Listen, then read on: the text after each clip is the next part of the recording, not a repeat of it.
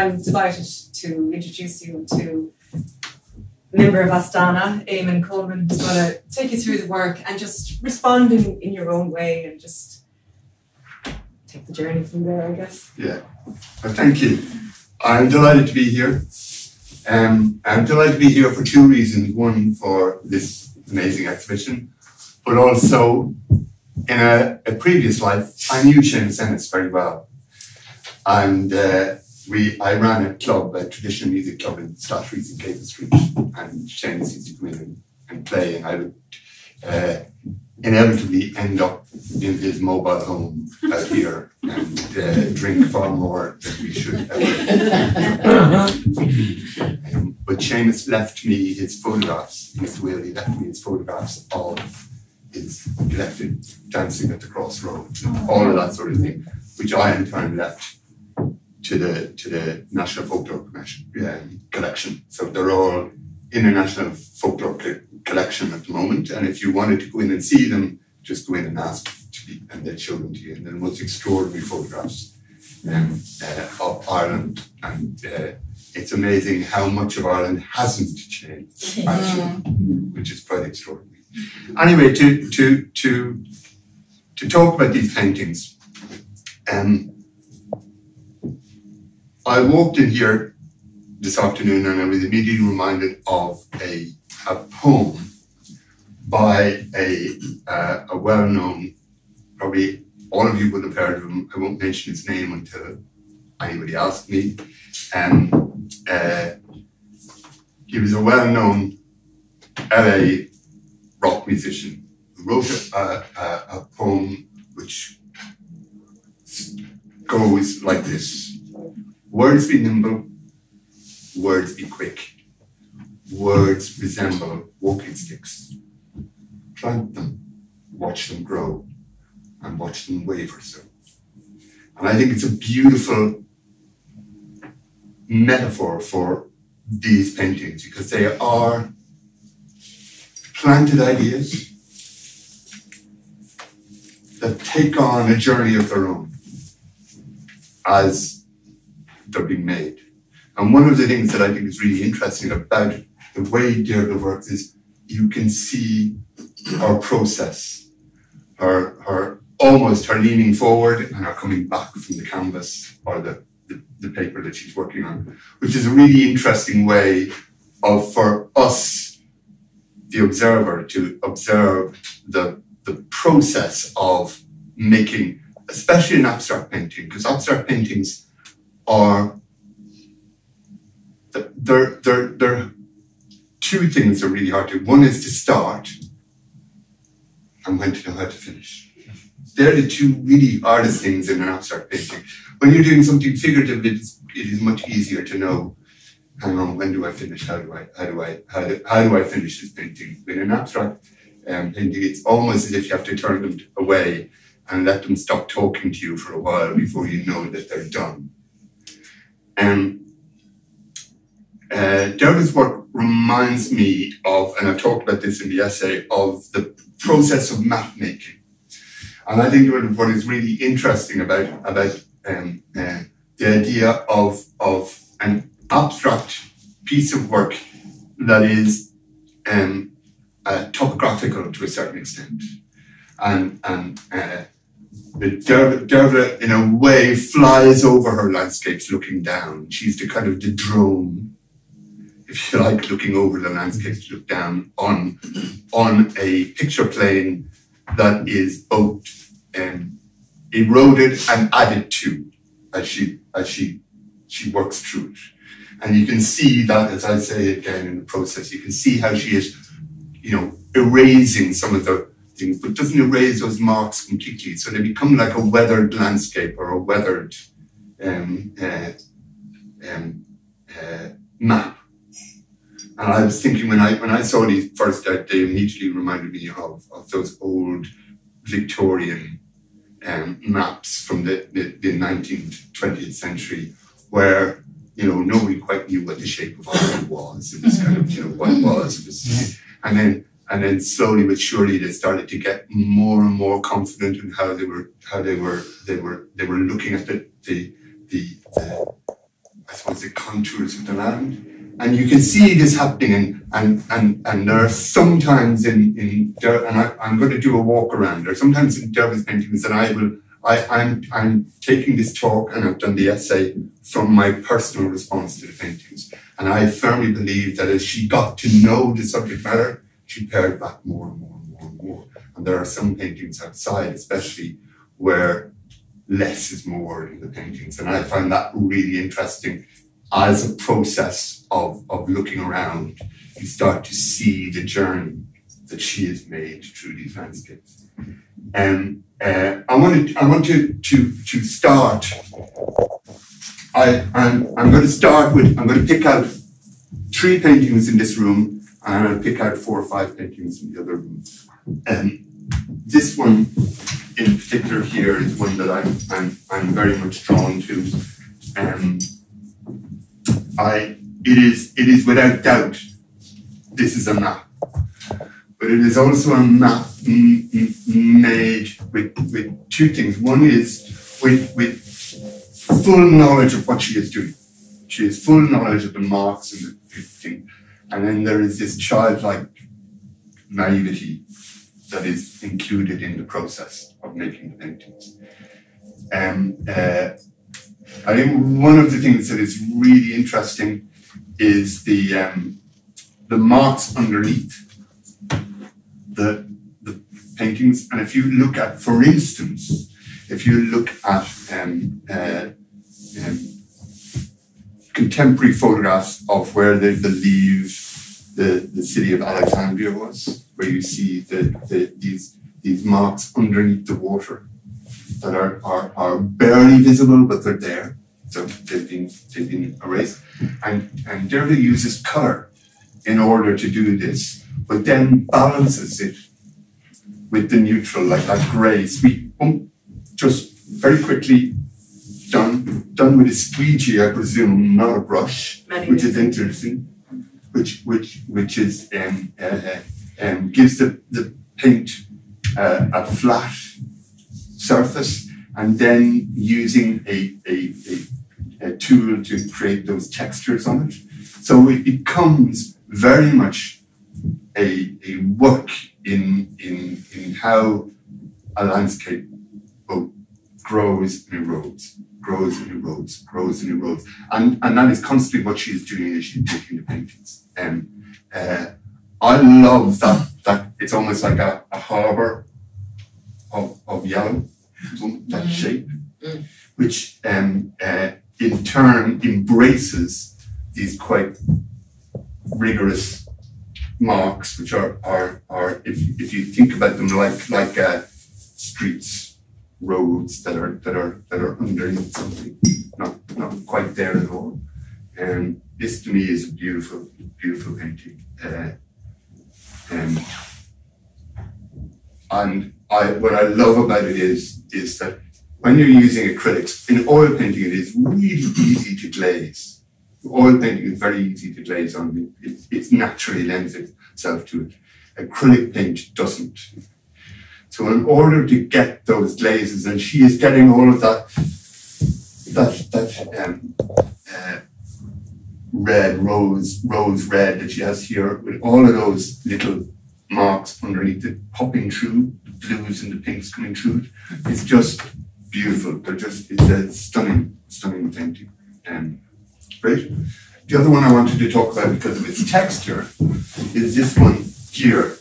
But also there are, are, are interesting things in this in this painting in that um, this to me uh, Derval grew up in, in, in Clare. Clare is probably still our most, most ancient county left in Ireland. You know, it's the one that has been least disrupted.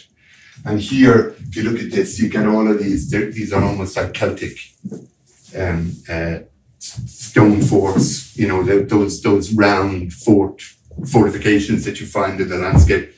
Here is this that is very much reminiscent of, of a, a, a stone hut, you know, a monk's hut that you might find within the landscape.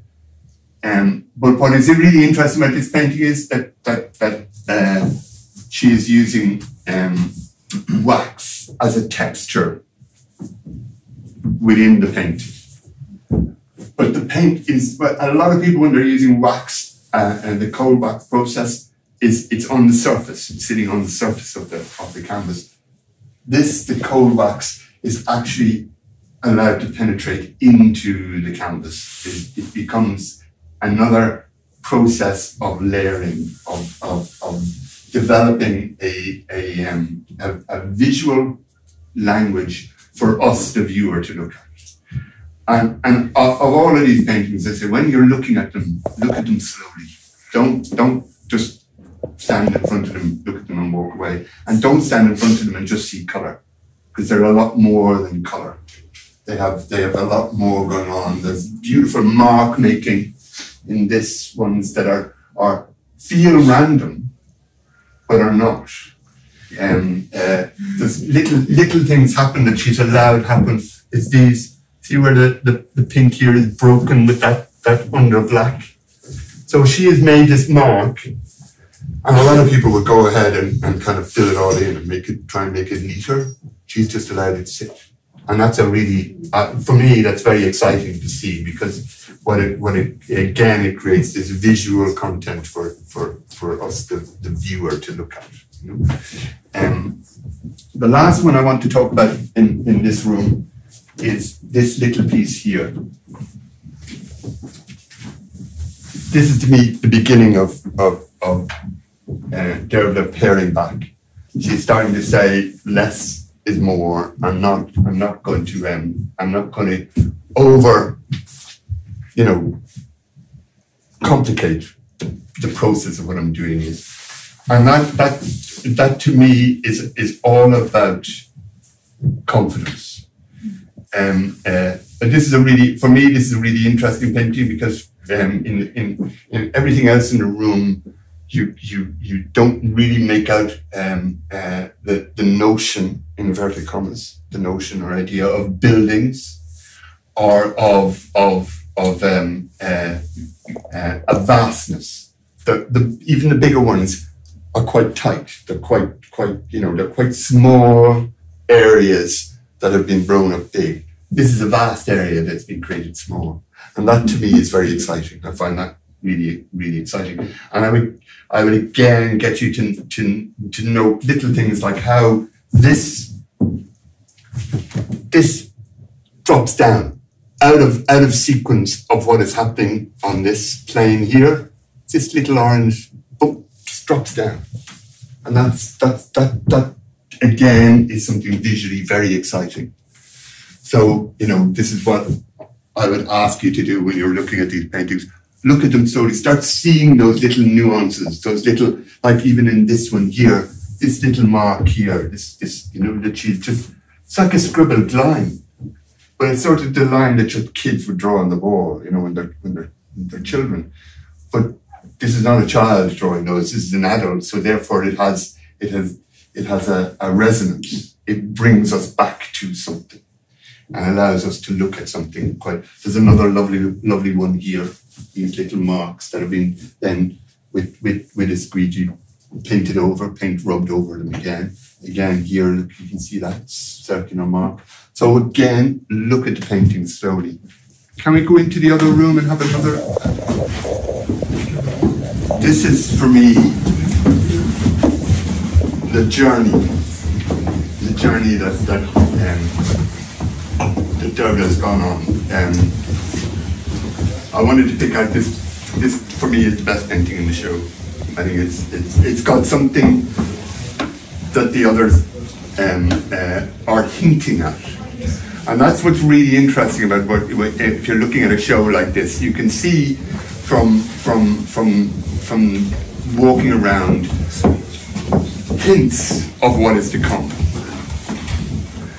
And and and all good artists, one of the things that's really really great about good artists is that they they're constantly leaving themselves questions in each painting because you know, I mean, you know, this whole notion that I have that um, with my own work is that if I was to finish what I consider is my very best painting, I go, that's it.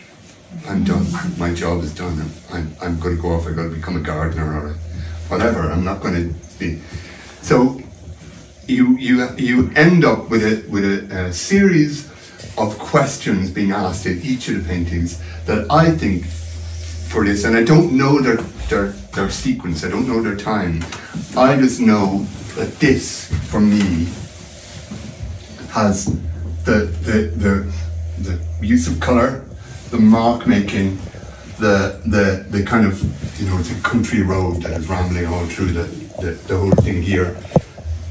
All all of that has has been hinted at in the other paintings. It suddenly finds itself its true voice in this. It's like it's like anybody, you know, a singer songwriter who, who who is writing good songs and then suddenly one day in ten minutes writes the most perfect song. That's and and I don't I, I, I, I don't know, but I, I have a, an idea that this probably came together fairly quickly and she went suddenly went, Oh, that's done. I'm I'm, I'm out of here. I've I've I don't want to touch it. But it left her with a, a kind of good signpost about where I'm going forward, how I'm going, how I'm going to push this this this painting process for the next 10, 20 years, or how long how long she feels like making work for. Um, again, what is really interesting in this is there are two things that are in, in some of the paintings inside, I'm sure some of the paintings here, you can see them here, these marks, which she allows continue right through all of the, the under mark making. Here, she stops it. They're just hinted at. That mark is just hinted at here. It is not, it is not, she's had the confidence not to say, I'm not going to actually make it as strong or as, as, as, as pronounced as I have been in the other ones. And also there is a transparency in the in the in the work here that is is not it's only being hinted at in some of the other works, which is really nice. This here, coming around here, is very is very beautiful, very subtle, very quick. It was just made in one go and then left. And that takes a huge amount of confidence because you know you can if you if you walk into your studio and you want to spend a day in the studio and you, your painting process suddenly pops up something that is really good and you kind of go geez, what are we going to do with the rest of the day and and and your, your tendency is to oh I keep oh, yeah, maybe maybe maybe it isn't as good as I think it is so the, the, the best thing to do is to just you know hang on I'm going to go, I'm going to go into town I'm going to go for coffee or I'm going to I'm going to go to a film I'm going to do something that will take my mind off my studio practice altogether. And that's one of these paintings that I know she probably did that. She probably made, finished it, you know.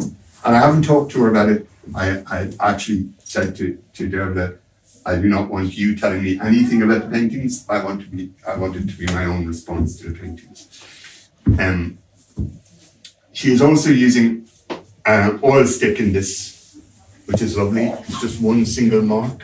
Boom these marks here, just one single mark. Um, that's a that's a, a, a, painting that I think is, is worthy of any major collection. It's just stunning, um, great.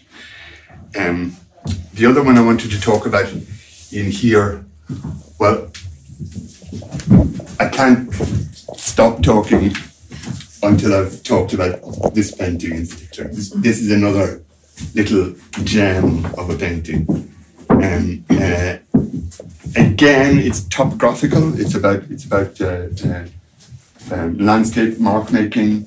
Um, uh, I, I in my in the essay that I wrote, I, I referred to Tim Robinson. Tim Robinson is a is a, a, a, a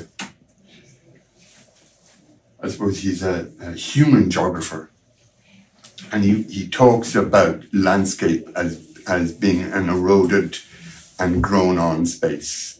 And he makes these maps, um, handmade maps of Connemara, or has, has made, sadly he's passed away. But um, uh, work is very near to what he would talk about in, in as, a, as a, a landscape format painting.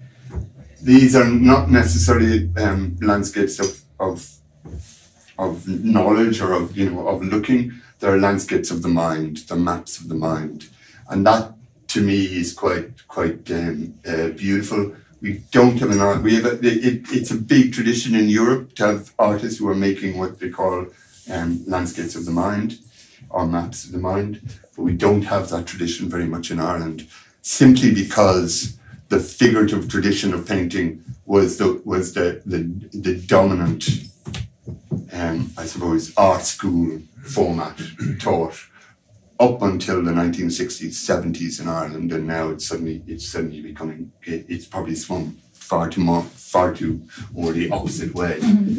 Um, uh, and one of the things that I think is really important about being a, a, a, an abstract artist is that you still draw daily, and I would draw. I draw. I personally draw from the figure on a regular basis, and and that's what excites me about about Derval's work in that she is using the pencil quite a lot in her actual paintings. So it's um, uh, really good. There is one more. This this this little one here that I I just I just loved as well. Um, uh, and um, uh, these two to me are very much related to each other. Um, uh, again, if you look at if you look at some of the drawing uh, uh, in this one, this drawn with the thing, but here it is painted in, which is really nice. And that is again like those those. If you look at at, at um, uh, ordnance survey maps of rural Ireland, you'll see those those little passages off the main road coming down to a little house that is that has stood there since you know before the famine. And these these marks we refer to here, whereas this is much more childlike. This painting here, it's even got a game of X and O's going on in in, in the in the in the left of the painting, which is quite quite interesting. Um, uh, and again, she is doing things in this that are I find really exciting. Is this this mark here with the the the just tailed off at the end of it with a little bit of what I would call the built environment included into the into the painting structure.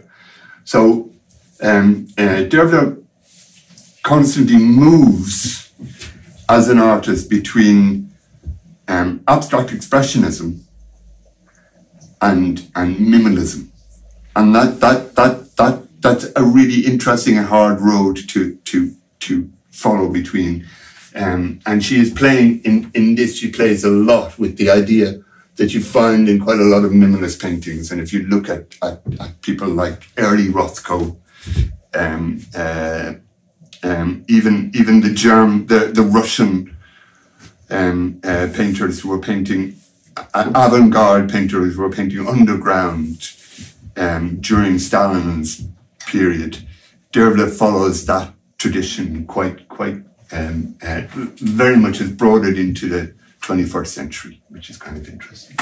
So I would like to finish by saying, well done, Dervla. Thank you, Edward. Thank you It's um, it's a great show. Um, well done to the Seamus Ennis Centre for putting it on. It, it, it, it deserves to be seen, um, as does the Seamus Ennis Centre itself. You know, um, a, a, a, a tribute to a great man, but also a tribute to North County Dublin. You know, which is a, a quite an extraordinary area in itself. So, cheers! I'd like you all to raise your glasses. To, to, Cheers. Well done. Thank you, Eamon. Um, I'm not really going to say a whole lot because I'm not a public speaker and it just scares the hell out of me. But Eamon, everything you said, 100% back up everything. And I've also learned so much as well. It's it's amazing when people start talking about your work back to you. I, I learned so much from that, and I'm excited to start and continue with other paintings as well. Um, I usually like to just let the work speak for themselves to everybody as an individual, whether it's in the color or the shapes or the mystery that's you know underneath it or on top of it or you know. Um, but yeah, I'm just overwhelmed by the amount that has come here.